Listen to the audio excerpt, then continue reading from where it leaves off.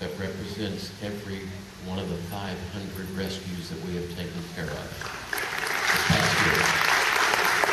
this past year.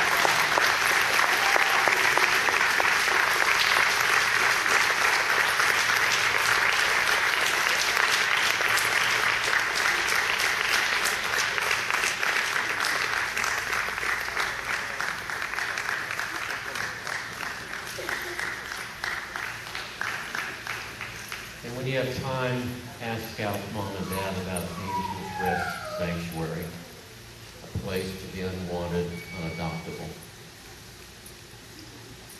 That young man right there is certainly not unwanted. Trey, about eight, 2000, is that 2004, right? 2009. Uh, about seven to eight months old. We don't know her history or how she became lost, but we do know that she, someone cared for her as she had previously suffered a leg, leg injury severe enough to require surgery and a pin. This trauma in no way affected Lily, neither physically nor psychologically. When she was found, she had a cherry eye. This is how she came uh, by her ABA rescue name of Blinky. Three weeks after being rescued, she found her forever home with our family in Worcester, Massachusetts. Lily was the sweetest dog from day one and immediately bonded with us as we did to her. Max owner surrendered due to a death of his former family. This loss left no time for his care.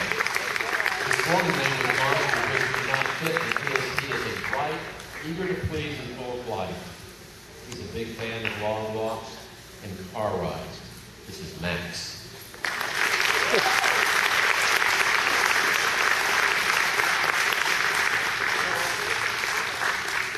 This is Sophie, just a little girl.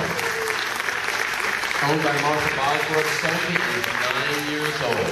Came into rescue two years ago when her former owner was no longer able to take care of her because of medical issues.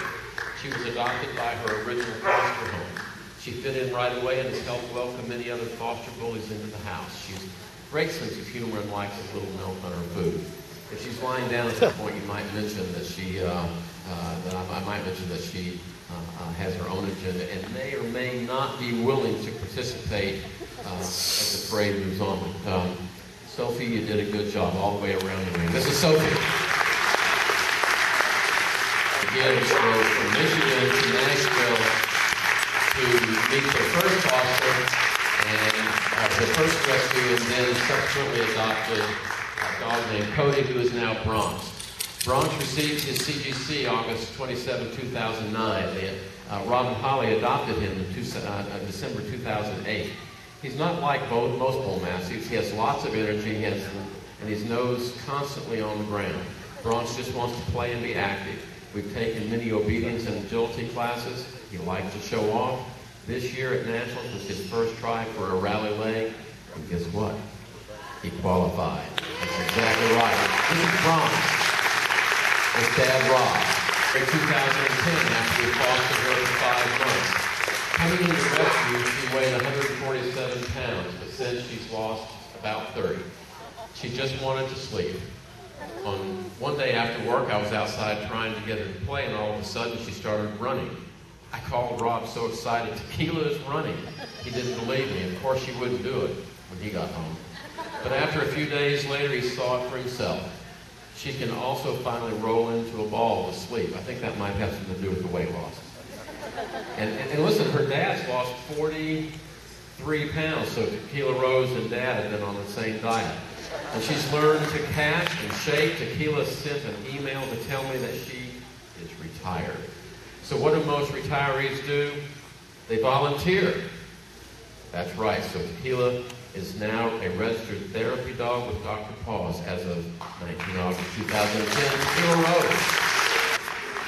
Lucy Lou also started off as a foster.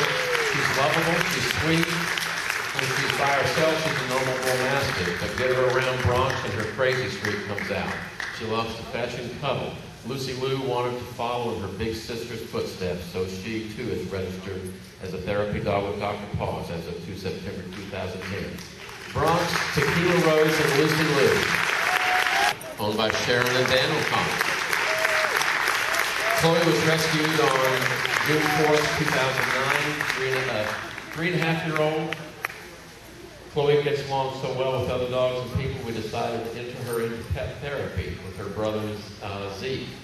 On September 4, 2010, she became certified. She became certified and will be doing her first visit this next Monday. This is Chloe O'Connor. Brother Zeke.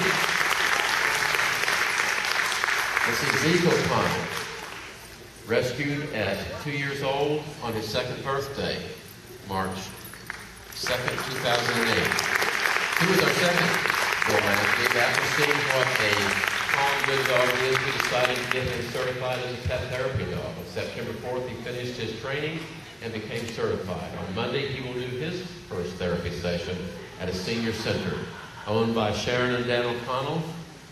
This is Chloe's brother, Zeke. Rescued from Lowry Humane Society. He's a big spoiled dog who loves his mother. Check out his collar. I was rescued on Halloween 2007. Got a big sister uh, who was also rescued from Bull Mastiff League who was about seven or eight. Also has a naughty um, Newfie sister who's his best friend. Mom and Dad love us very, very much. Muggles. This is Tallulah Bell, a four-year-old bull mastiff who was adopted last year by Christine Radis and Dan Corbin. Tallulah Bell had surgery while she was adopted and went through physical therapy and made great recovery. She lives to cuddle, goes on walks in Boston, and likes to be with her sister Maxine, a nine-year-old adopted English bulldog. This is Tallulah Bell.